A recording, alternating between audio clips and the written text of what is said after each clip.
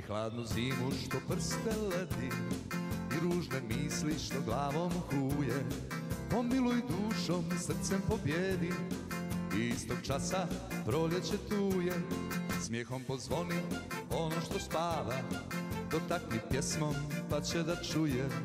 Iskra iz oka, svjetlost je prava Gdje god je ljubav, proljeće tu je Ljubav je naša najveća snaga Vratit će onog ko je daleko Prestiže vjetar nad blista blaga.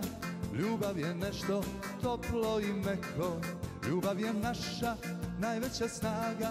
Vratit će onog ko je daleko Prestiže vjetar nad blista blaga. Ljubav je nešto toplo i meko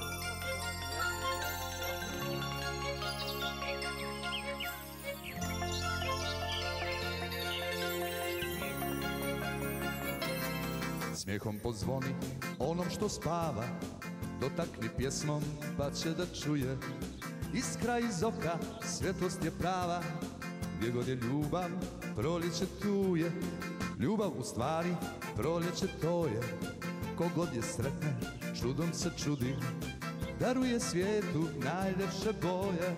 Kod cvijeti zrna, ona se budi. Ljubav je naša najveća snaga. Vratit će onog ko je daleko?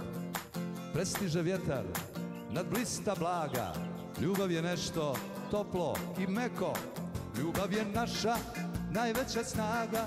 Vratit će onog ko je daleko. Prestiže vjetar nad blista blaga. Ljubav je nešto toplo i meko. Meko kao zeko